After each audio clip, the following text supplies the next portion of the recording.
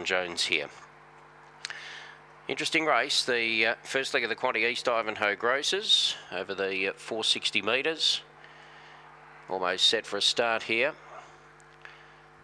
There's the green light, 460 metres the journey. Race number five. They're set. Racing, Pirates Patch the inside, beat them out by about a half a length. Going up on the outside was Soul Trader. Rolling up was Rollo Ragnar, and in the centre then came Zipping Hamish, is threading up on the inside. Further back then came Flying Fifi, or just as I said that, Zipping Hamish got flattened. Uh, Flying Fifi went past it, and last Cyclone Ronda the 100 to 1 chance. Around the corner, Pirates Patch the leader by about four lengths to Soul Trader, who's trying hard, but it's Pirates Patch. Pirates Patch from Soul Trader. Then came Unit Bale in third, fourth getting home Flying Fifi, just in advance of Mahjong Buddy. Then for the back, No Luck Zipping Hamish, Rollo Ragnar, and Cyclone Ronda, the outsider at the tail.